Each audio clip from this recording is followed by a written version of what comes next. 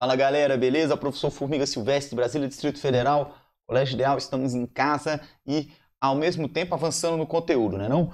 Formiga, o que, que nós vamos estudar hoje? Os plateumintos. Eu vou fazer dois vídeos.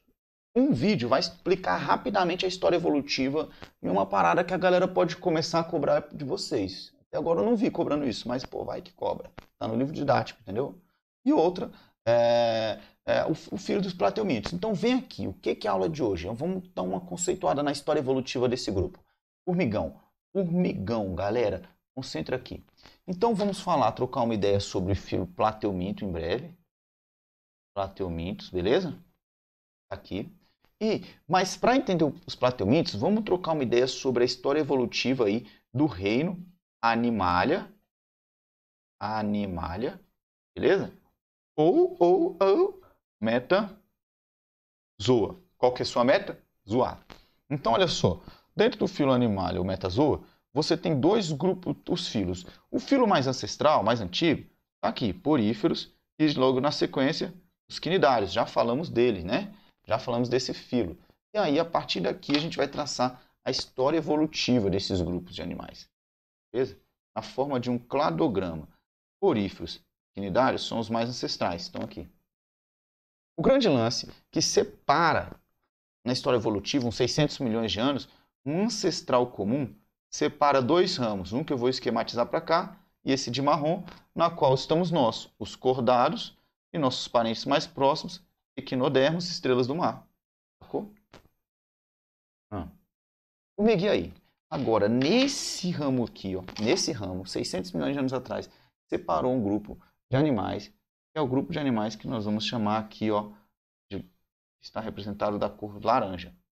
E nesse grupo de animais, o ancestral comum separou dois grupos. O grupo que tem os artrópodes e os nemateumintos. Esse grupo é o grupo dos equidizozoas.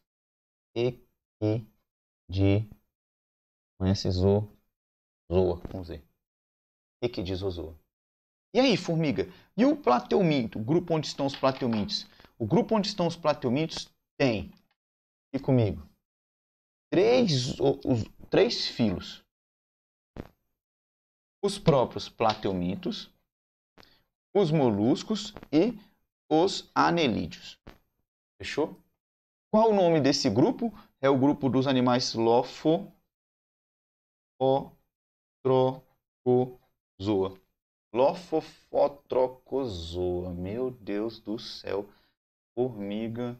O que, que é isso? Animal Lofofotrocozoa. Chega aí para entender comigo o que, que é um animal Lofofotrocozoa. Mas o meu foco aqui é o seguinte: onde é que você acha que poderia ser cobrado isso aqui, formiga? Simples. Vem cá, olha só. A galera te aplica um artrópode. Fala que o artrópode é um.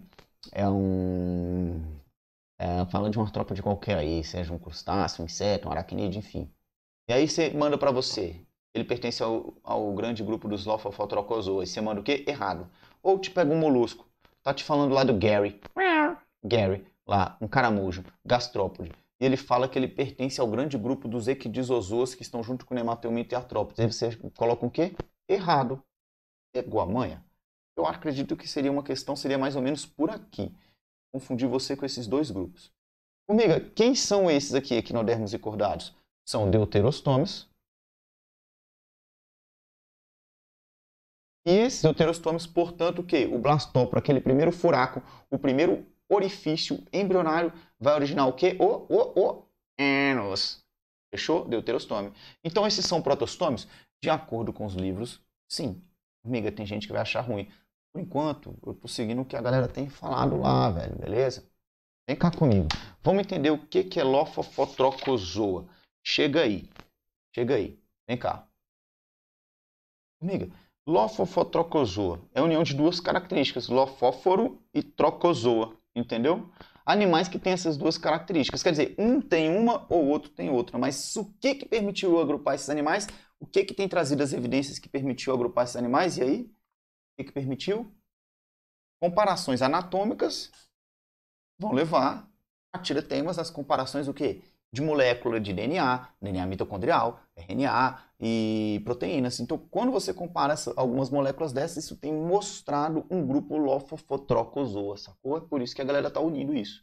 Mas o nome desse grupo foi dado em duas características anatômicas. Tem um animalzinho lá, lofóforo, e vai ter lofóforo. Olha que nomezinho bonitinho. Lofóforo. Amigo, o que é um lofóforo? Existe um grupo de animais, alguns filos do reino animal que a gente não estuda, e esses filos vão ter aqui ó, é, um animalzinho céssio fixado a um substrato. Esse animalzinho aqui tem uma espécie de cabeça, assim, e ele vai ter uma estrutura com tentáculos, e esses tentáculos serão ciliados próximo à boca do animal. Olha a boca aqui, ó. Trato digestório e a boca. Próximos à boca do animal. Justamente esses tentáculos ciliados é chamado de quê? Lofóforo. Então, o que é o lofóforo? A gente vai classificar como tentáculos ciliados para captura de alimento, né? Tentáculos ciliados é, próximo, beleza? Próximo à boca. Lofóforo. Ah, formiga, entendeu? Entendi, formiga, entendi. Formiga, queria ver isso. Ó, vou te mostrar aqui no Wikipedia. Chega aí. Vou te mostrar aqui no Wikipedia, ó. Tá bom? Deixa eu não voltar aqui, ó. Ele está te mostrando um grupo dos ectoproctas, um filo, tá? Animal. E aqui em cima, ó, você está vendo o lofóforo, próximo à boca do animalzinho microscópico. Fechou? Então isso aí é um lofóforo. Formiga. E aí? Por que? Qual é a outra característica? A outra característica é essa aqui, galera. E vamos chamar de larva. A gente encontra isso nos moluscos. Larva trocó, trocófora. Larva trocófora. Amiga, qual o tamanho? Esse moleque aqui, ó, ele tem mais ou menos aqui meio milímetro. Agora, larva trocófora, a gente está falando na escala de 1 micrômetro, 10 a menos 6 metros.